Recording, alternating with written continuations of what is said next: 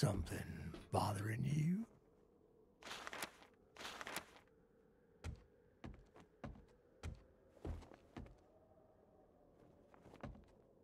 How may I serve you?